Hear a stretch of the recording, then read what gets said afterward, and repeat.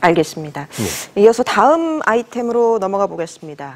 지난해 우리 우리나라 출산율이 역대 최저를 기록했습니다. OECD 국가 가운데서도 꼴찌인데요. 우려했던 인구 절벽이 현실화되는 건 아닌지 자세히 짚어보겠습니다. 소장님. 네. 이 통계청이 출생 통계를 발표했는데 출생아 수가 1970년 이 통계를 작성하기 시작한 이후에 가장 적었다고 합니다. 그렇습니다. 이 35만 8천 명이 지난해 늘었는데요. 아, 이거는 그 전해보다 11.9% 그러니까 4만 8,500명 정도가 줄어든 겁니다. 아, 70년 관련 통계 작성 이후 최소 수치고요. 말씀하신 것처럼 이렇게 두 자릿수 감소율 보인 것도 2002년 이후에 15년 만입니다. 어떻게 보면 충격적이다 이렇게 볼 수도 있겠습니다. 예. 이대로 가다가는 이제 뭐 세계에서 유일하게 출생률이 뭐 0명대인 인구 절벽이 올 수도 있다 이런 우려도 나오는데요. 그러니까 합 계 출산율이라는 표현을 쓰는데 예. 에, 임신 가능한 출산 가능한 여성이 15세에서 49세까지 여성이 아, 평균 낳는 아이의 수인데요. 이게 거- 의미 있는 큰 마지노 라인이 두 개가 있습니다. 하나는 대체 마지노 라인이라 그래서 인구가 줄어들지 않고 유지되는 선이 2.1명 정도 됩니다. 아, 그리고 또 하나는 1.3명이라 그래서 이 이하면은 초저출산 국가로 분류가 되거든요. 근데 우리는 이제 1.3명 이하로 떨어진 지가 꽤 됐고 예. 이제 1이라는 숫자마저 이제 붕괴되고 있는 겁니다. 좀 긴 시각에서 보면 1980년대 초에 2.1명이 무너졌고요. 그리고 2005년경에 기억하시겠습니다만 1.08명으로 뭐 초출산이다 이런 표현이 예. 등장하면서 언론이 이제 굉장한 논란을 일으켰고 그 당시부터 출산 장려 정책이 10여 년간 아주 꾸준히 추진돼서 1.24명으로 꽤 올라왔어요. 2015년까지. 예, 예. 근데 2016년, 2017년 두 해 연속 다시 떨어지고 있는 거거든요. 1.17에서 1.05로. 그리고 지난해 4분기부터는 1도 무너졌습니다. 그리고 1분기에 다시 일- 올라섰다가 2분기에 들어서 올 2분기에 들어서 다시 1이 무너지고 있는 현상을 보이고 있어요. 그러니까 예. 올해뿐만 아니라 한 최근 2, 3년간 초저출산 현상이 다시 등장했다.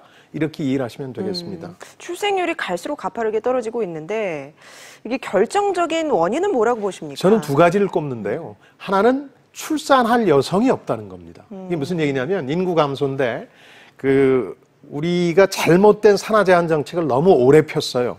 1996년 그러니까 노태우 정부 때까지 아이들 하나만 낳아서 잘 키우자 이렇게 하지 않았습니까? 예. 그러다 보니까 그것도 이제 전두환 정권 당시에는 굉장히 강력한 산하 제한 정책을 펴게 됩니다. 예, 예. 1980년대 초가 그런데 그 당시 공공연히 무슨 얘기를 했냐면 우리가 미국 같은 개인 소득을 누리려면 천만 명이면 된다. 이런 얘기까지 하면서 산하 제한 정책을 강력하게 폈거든요. 그게 1980년대 초반의 일인데 그분들이 지금 30에서 34세로 아이를 낳아야 되는 상황이거든요. 예. 그러니까 이분들이 갑자기 아이를 낳을 분들이 적어진 거예요. 예, 그리고 그 예. 당시에는 산하 제- 제한 정책뿐만 아니라 남아 선호 현상 때문에 여성들이 훨씬 적었어요. 음. 그러다 보니까 출산할 여성이 없다. 또 한 가지 최근 몇 년간 두드러진 현상 중에 하나는 혼인마저 감소하고 있다는 건데요. 네. 예전에는 출산율은 떨어지면서도 희한하게 혼인율은 높아지는 아. 그래서 희망을 가져볼 수 있는 여지가 있었거든요. 뭐 예. 음. 혼인을 많이 하면 애를 결국 언젠가는 낳지 않겠느냐 그랬는데 혼인율도 상반기 통계를 보니까 4%가량 줄어들었어요. 예. 음. 그러니까 결혼 자체를 안 한다는 얘기니까 이 두 가지 이유 때문에 최근에 초저출산 현상이 재현됐다 이렇게 보시면 되겠습니다. 그렇군요. 정부가 이제 최근에 고용 쇼크의 원인으로 인구 감소를 들고 있습니다. 이에 대해서는 어떻게 보십니까? 구조적 요인 중에 하나긴 한데요. 예. 두 가지는 꼭 지적해드리고 싶어요. 하나는 산하 제한 정책이 왜 그렇게 오랫동안 지속됐느냐. 마지막엔 잘못됐다는 걸 누구나 알았거든요. 이렇게 우리 경제 인구 구조가 바뀌면 안 된다는 걸 가지고 있으면, 있으면서도 그런 인식을 가지고 있으면서도 일종의 정책의 관성이라는 게 작용했어요. 아, 산업화 시대에 시작된 정책을 그냥 밀어붙인 거예요. 마치 요즘 누진제 얘기하듯이. 예. 그래서 96년까지 잘못된 관성이 유지가 됐고 또 하나는 인구 문제라는 게 통제 불가능한 것처럼 처- 정부에서는 자꾸 얘기하는데 그렇지 않습니다. 힘들긴 하지만 정부가 노력하기에 따라 바꿀 수 있습니다. 아까 제가 힌트를 드렸죠. 2005년에 1.08명으로 떨어졌던 합계 출산율이 어, 1.24까지 10년 만에 올라갔어요. 예. 기억하시겠습니다만 출산 장려 정책들 지자체에서 출산하면은 학비 면제해주고 어, 지원금 주고 이런 것들 때문에 꽤 올라갔거든요. 올릴 수 있는 거예요. 이게 영원히 통제 불가능한 것은 아니다. 그런 예. 점에서 보면 정부가 지나치게 인구 문제로 고용 문제를 돌리는 건 좀 근시안적인 대답이다 혹은 변명이다 이렇게 봐야 되겠죠. 그렇군요. 중장기적으로 봤을 때 이렇게 출생률이 계속 감소할 경우에 그러니까 생산 인구가 감소가 될 거고 뭐 고령화로 그렇죠. 인한 뭐 지출도 늘어날 테고요. 경제적으로 여러 가지 이제 파급 효과들이 나타날 것 같은데요. 당장 이제 궁금해하실 게 국민연금 재정 추계가 나와서 논란이 많이 일지 않았습니까? 음. 고갈 시기가 57년이었죠. 근데 그때 장래 인구 추계라는 걸 통해서 인구를 잠정적으로 추정했어요.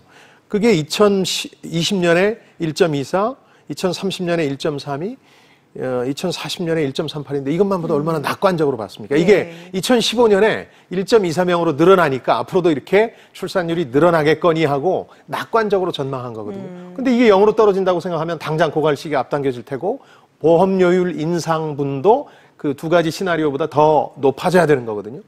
그런 점에서 보면 우리가 가진 부담이 얼마나 클지 뭐 예. 국민연금 하나만 가지고도 짐작해 볼 수가 있는 거죠. 이건 그 5년마다 이 장래 인구 추계라는 걸 하게 되는데요. 워낙 이렇게 출산율이 급격하게 떨어지면 조금 앞당겨서 해볼 수도 있겠다 이렇게 통계청이 밝혔으니까 예. 새롭게 나오는 걸 가지고 국민연금 재정 추계를 다시 해봐야 되는 상황이 오는 거죠.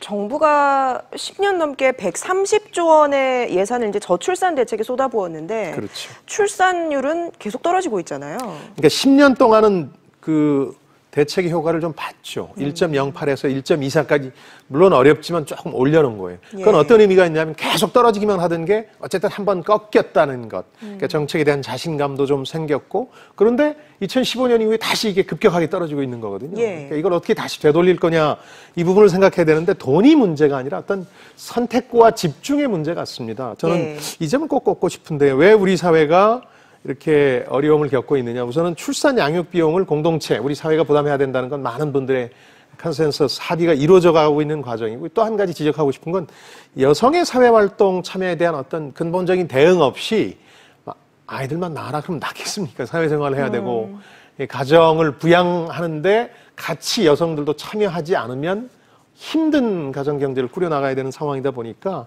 이 부분에 대해서 여성의 사회활동 참여에 대한 어떤 지원 정책을 획기적으로 개선하는 부분에 대해서 우리 사회가 좀 고심해야 될 때가 아닌가 그런 생각이 듭니다. 예. 앞서 우리나라보다 저출산을 먼저 경험한 이제 다른 나라들의 사례를 잠깐 좀 볼까요? 네. 예. 그 프랑스처럼 이제 상당히 그 트렌드라고 할 만한 장기 트렌드라고 할 만한 걸 뒤집기는 쉽지는 않습니다. 프랑스가 성공적인 예로 꼽히긴 하죠. 예. 근데 우리도 뭐 아주 미미하긴 합니다만 1.08명에서 1.24로 되돌린 적이 있었고.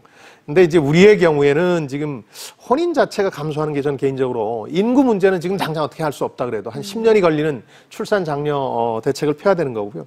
혼인 자체가 감소하고 있어서 이제 만혼에다가 늦게 결혼한 데다가 출산 연령도 지금 32.6세로 많이 늦어지고 있거든요. 예. 이 얘기는 뭐냐면 아, 한 아이만 낳겠다는 확고한 결심을 하고 있는 거예요. 지금 결혼하신 분들이 이걸 어떻게 바꿀 거냐. 그래서 결혼을 가능하면 많이 할 수 있도록 유도할 것이냐.